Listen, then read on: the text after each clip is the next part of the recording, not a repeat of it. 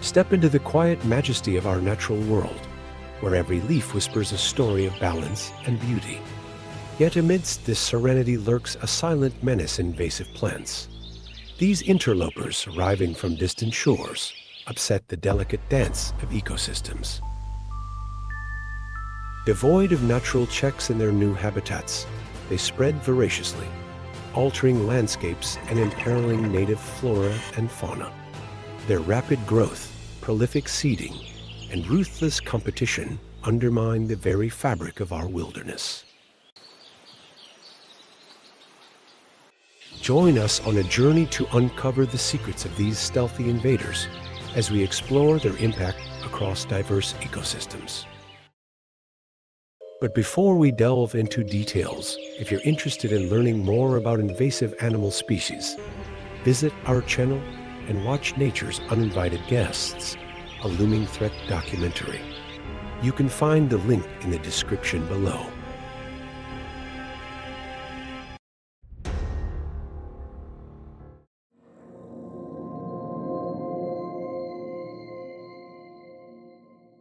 Giant Salvinia, a fast-growing fern native to South America, has become a major invasive threat to waterways globally, from Asia and Australia to the United States.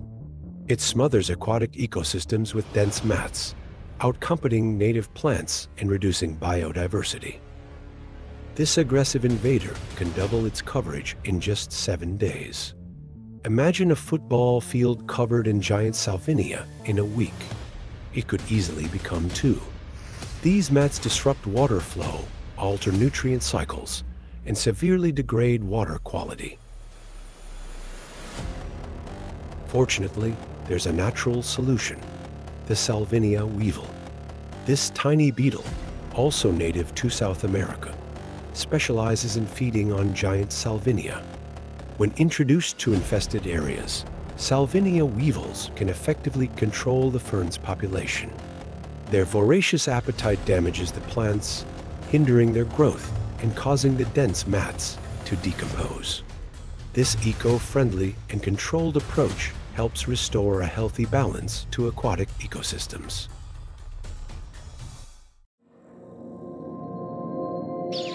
Its tall, square stems and vibrant purple flower spikes make purple loosestrife a striking sight in wetlands. Originally from Europe and Asia, this invasive plant was introduced to North America for ornamental and medicinal purposes. It quickly outcompetes native plants, forms dense stands, and alters crucial wetland habitats. Efforts to manage purple loosestrife include the use of biological control agents like the Galerucella beetle, which feeds on its leaves and flowers, helping to reduce its spread and impact on wetland ecosystems.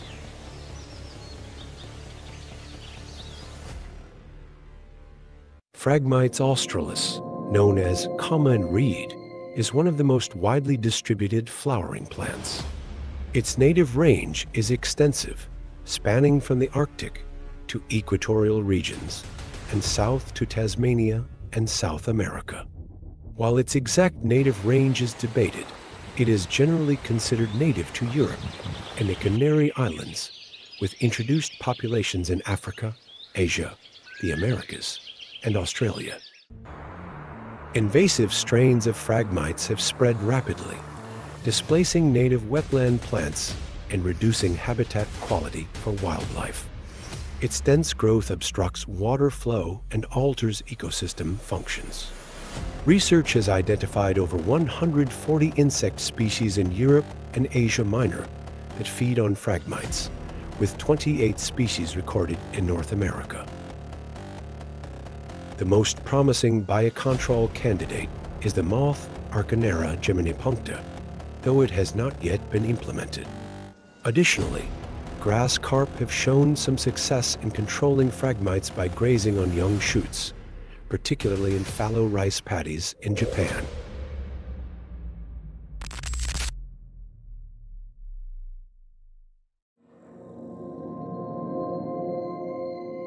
Introduced as an ornamental plant, Japanese knotweed has spread across Europe, North America, and other regions.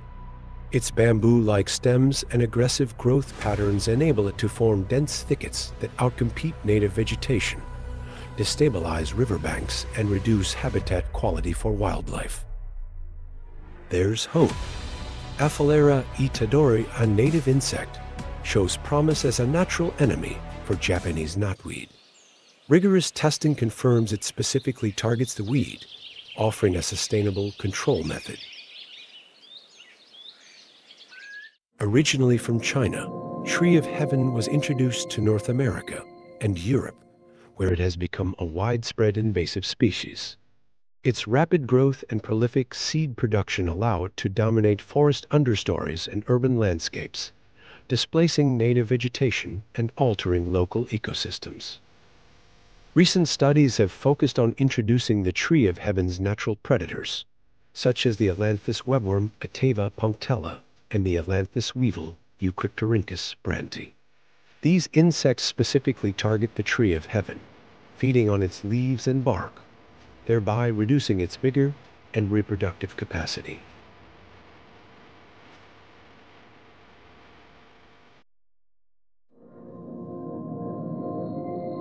Native to Europe and Asia, spotted knapweed has invaded grasslands across North America, especially in the West. Its aggressive growth and allelopathic chemicals suppress native plant species, reduce forage quality for livestock, and alter natural fire regimes. Recent studies focus on biocontrol methods, introducing natural predators like the knapweed root weevil, Cyphocleonus achates, and the knapweed seed head, fly, Urophora affinis. These insects specifically target spotted knapweed, reducing its vigor and spread.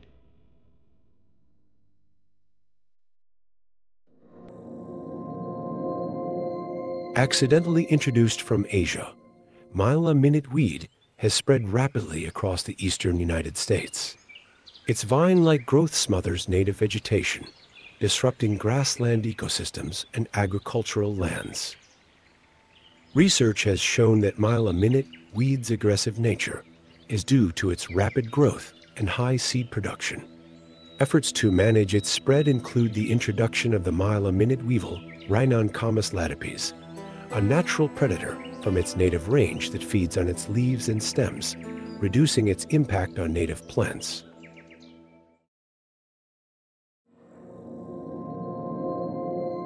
Water hyacinth is one of the world's most invasive plants, known for forming dense mats that cover water bodies, obstructing navigation reducing oxygen levels, and impacting aquatic life. Originally from the Amazon basin, it has spread globally, posing severe threats to ecosystems in Africa, Asia, and North America. To combat this invasive species, seven arthropods and three fungi have been developed and released as biocontrol agents.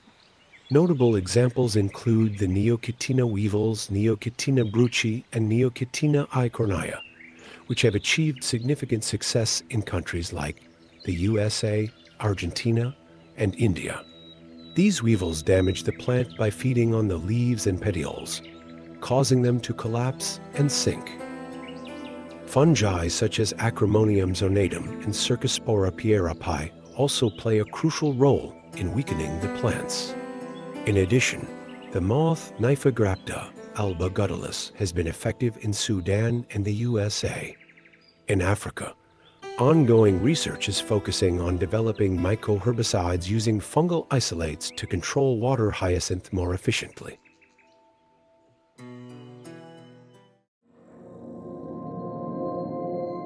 Recent studies in 2024 have revealed groundbreaking insights into the genetic adaptability of invasive plants. Research from institutions like Stanford and Oxford has identified genetic traits that enable these species to thrive in diverse habitats, such as rapid growth and efficient resource use.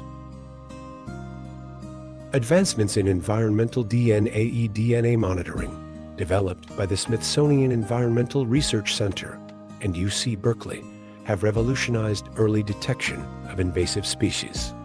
By analyzing EDNA from soil, water, or air samples, scientists can detect invasive plants before they become established. For example, eDNA techniques have successfully identified invasive aquatic plants like water thyme hydrilla verticillata and water chestnut Trapa natans in North American waters, allowing for rapid management responses. These advancements in genetic research and eDNA technology enhance our understanding and management of invasive plants, helping to protect native biodiversity and ecosystem health. Until next time, cherish the harmony of nature, for its future rests in our hands.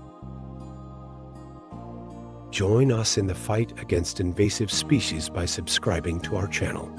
Stay informed with our weekly content featuring in-depth documentaries and the latest research on preserving our natural ecosystems. Together, we can make a difference.